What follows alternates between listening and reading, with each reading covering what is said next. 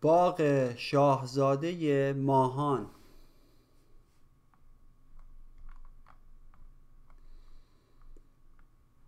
باغ شاهزاده ماهان یکی دیگر از باغهای زیبای استان کرمان است.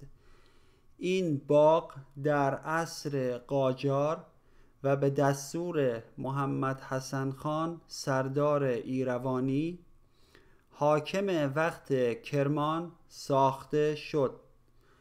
بنای درون باغ بعدا توسط عبدالحمید میرزا ناصرالدوله حاکم کرمان در سال 1209 الی 1309 هجری قمری در شهر ماهان احداث شد.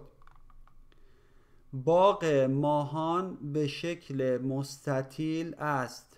حدود پنج هکتار مساحت دارد. آب مورد نیاز باغ از قنات تیگران از ارتفاعات کوه جویبار سرچشمه می‌گیرد.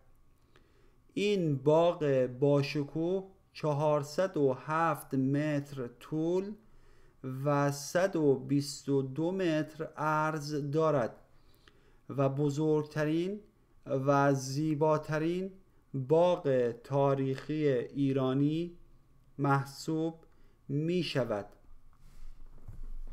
امارت اصلی در انتهای فوقانی باغ سردر امارت شاهنشین و حمام بناهای باغ را شامل می شوند مصالح به کار رفته در این بنا از ملات و آجر استفاده شده است.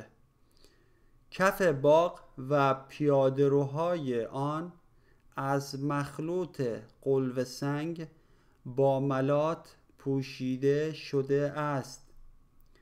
و دو محدوده اطراف بالاخانه و سردر خانه مزین به نقوش هندسی می باشند.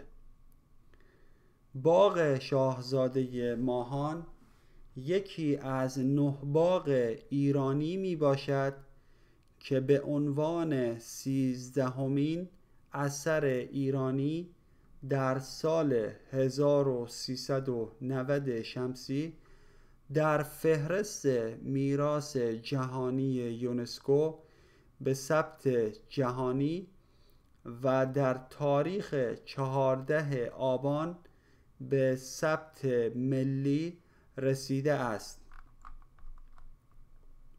کلمات کلیدی مترادف فارسی مترادف انگلیسی.